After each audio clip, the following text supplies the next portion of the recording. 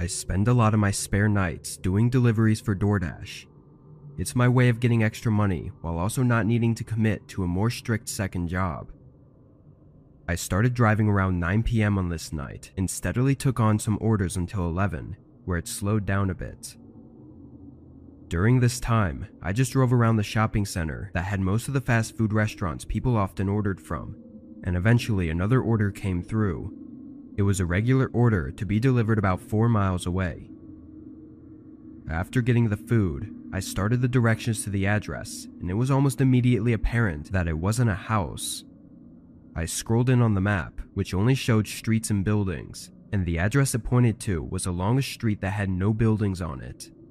It looked kind of like an empty plot of land, but the DoorDash map was never that great, so I just started driving and decided to at least check it out and maybe call the customer if there was an issue. I drove out, taking just under 20 minutes until I reached the street it was on. This street was very bare, no houses or crossroads, and no cars driving on it. When I got to the end, it became a gravel road and on the side was a small wooden sign that was too weathered to be legible. I pulled onto the gravel and turned my brights on, and right away I could see something far off down the road. I drove in closer, and as I approached it, my phone dinged to let me know that I'd arrived. In my headlights was a small mobile home, or some kind of RV, and on the door were poorly painted numbers. I looked back at my phone 2760. It was the address. I got out, holding the food in my hand as I walked up to the RV. Getting closer, it was a bit unsettling to look at. It was overgrown and old, which was strange considering it was a mobile home meant to be moving around. I gave it a knock and waited. This was a rare cash order, which made more sense once I saw the place but it definitely didn't make me feel good having to stand here. As I looked around, an eerie feeling loomed over me. This place was surrounded by the woods with no lights anywhere. Past the RV, it was complete darkness. I heard something from inside, and I prepared for them to open the door, but then a voice to my right startled me. I looked over and saw a man smiling at me, standing by the corner of the RV. He asked if I had his order, and I nodded, apologizing and walking it over to him. I handed it off and said his total. The man reached into his pocket and pulled out a $5 bill, then smiled again and said he just needed to grab the rest. He turned and walked back around the RV while I stayed where I was. This whole interaction in writing doesn't seem as off as it was in person, but I can tell you, there was something very wrong about this guy. It was just something about the way he acted and said everything that gave me chills. I waited for a minute or so before getting more nervous and looking around the corner to see where he went. In the distance, I saw a figure standing by what looked like the dark outline of a shed. They were not walking, they were just standing there, as the fear grew inside me, my head jolted around, hearing the door to the RV opening. A different man looked out at me, and just as I started to greet him, he slammed the door shut. My heartbeat now intensifying, I looked back out at the man who was by the shed. He was now walking back toward the RV, but had something else in his hands. In the moment, I couldn't tell exactly what it was, but it was either a long bat or a rifle. I ran back to the car, getting in and turning it on with shaky hands as I put it in reverse. The man came around the side of the mobile home and stood calmly in the darkness as I drove off. I don't know what happened there, but I wasn't exactly keen on finding out. I went straight home afterwards and debated calling 911, but was caught up on the fact that I didn't actually know what was going on. In the end, I made the regretful decision not to notify the police. Whatever happened that night will remain as just the strange encounter it was, with no answers to the true nature of it. I work at a 24 hour drive through restaurant, and this had happened only a few weeks ago. I'm a crew manager, but for the most part, I just do the same things everyone else does, which is cook and take orders. For overnight hours, we always have at least two people, one being a manager and the other usually being a cook. On this night, the cook had called in sick, and when I called the others to see if they could cover his shift, none of them said they could. So by 12 a.m., I was the only worker there. Now, usually the restaurant doesn't get busy overnight, and more employees come in at 4 a.m., so it wasn't an entire shift alone, but it still meant that for 4 hours I had to do everything myself. I left my headset on in case someone came to the drive through, then started working on the tasks I had for the night. I started by scraping and cleaning the stovetops, but a few minutes in, I was interrupted by a banging sound from the front of the restaurant.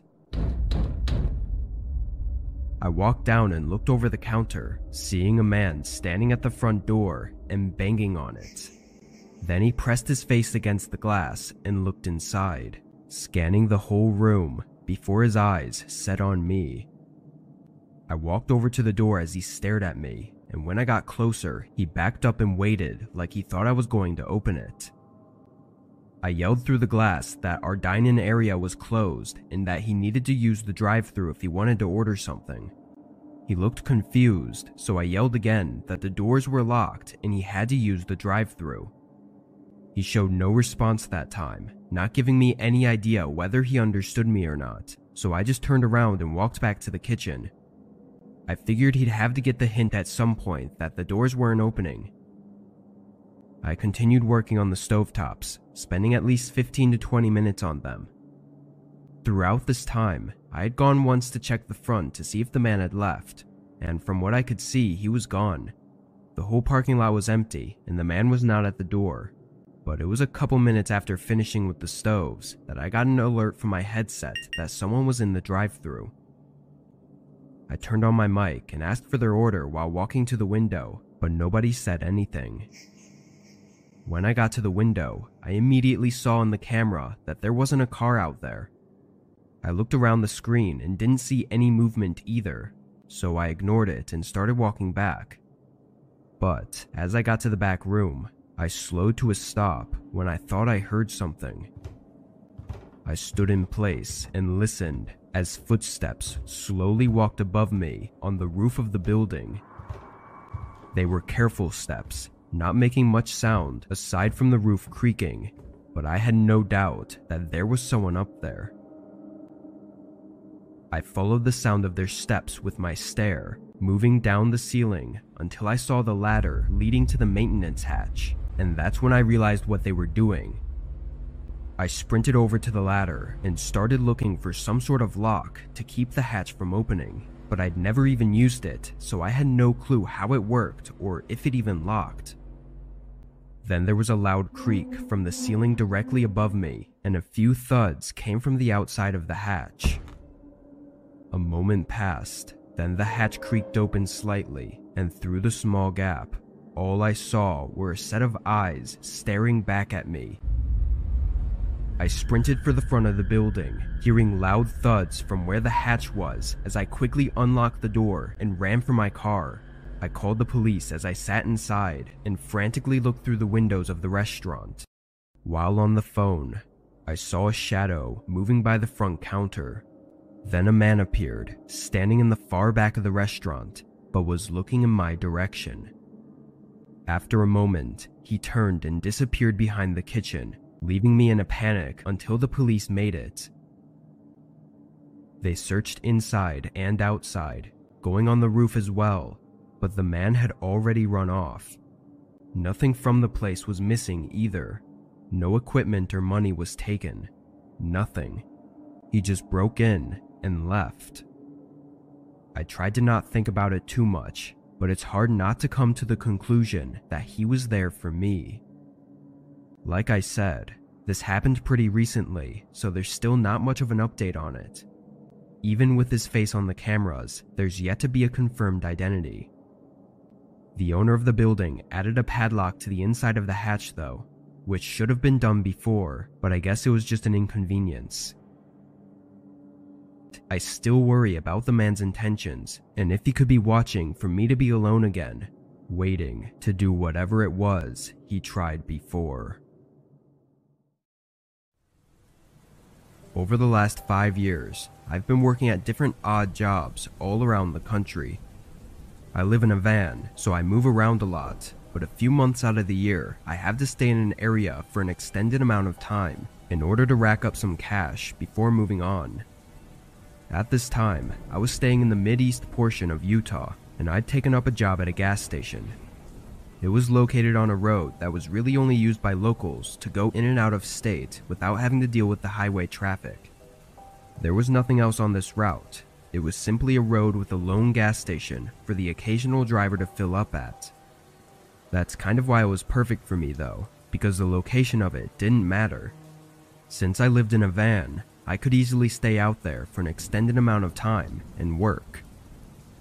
Anyway, I'd been there for a bit over a month, and up to this point, I was still working random shifts. This day I was working 10 p.m. to 6 a.m.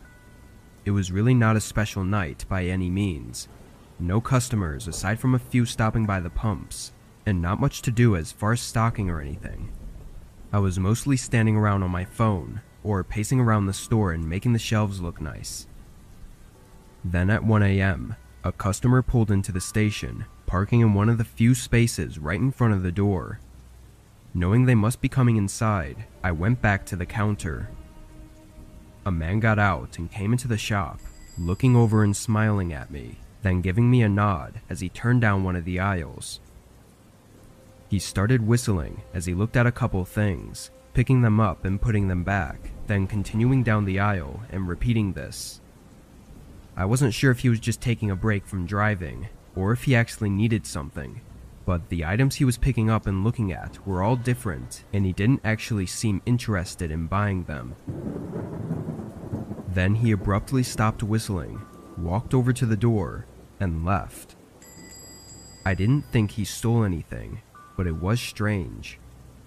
He got into his car and started moving around, reaching into his back seat before getting back out of his car and coming into the shop again. After seeing that, I wasn't feeling too comfortable. This seemed almost exactly how I thought an armed robbery would begin like, but the aggression I was expecting when he came back in didn't happen. He walked over to the counter and asked how my night was, starting a quick back and forth of small talk. I acted as normal as I could, just in case I was overthinking everything. But then he asked if I could help him with his car. He said his tires needed air and that he didn't see any pumps outside. This station didn't have any air pumps for self use, but we did carry a handheld air compressor for emergency situations. I got it out and followed him to his car. He pointed down at the tire that needed it, and I ducked down, putting the compressor line in. I had it in for less than 10 seconds before it read the pressure to be at the right level. I looked over at the man, seeing him looking down at me with no expression. I took everything out and stood up, starting to walk back to the shop when he stopped me by rushing in front of the door. His right hand was deep inside his jacket pocket as he stared at me with a cold face. I told him to move, but of course he stayed in front of the door, though I could see it in his eyes that he was preparing to do something. I took a step back, trying to say what I could to calm the intensity of the situation, but just as I thought he was going to snap, he suddenly ran around me and got in his car, pulling out aggressively and speeding away. I took this time to go inside and call 911, and surprisingly, they arrived out here only minutes later. They were already on the chase, looking for the exact car the man was driving. The officers stated the man was on the run from a recently committed crime near the border. They didn't give me any details, but the way they said it made me think it wasn't just some small robbery. After my quick statement, they got on the road again, and after that, I never got an update. I tried to look up recent crimes and everything, but could not find anything useful. I don't know what he was planning to do, or why he actually stopped at the station, but my best guess could have been to steal my van and conceal his tracks, or at least delay them. However, depending on what crime he had just committed, I think my life could have easily been at risk, and why he chose not to do anything to me is unknown.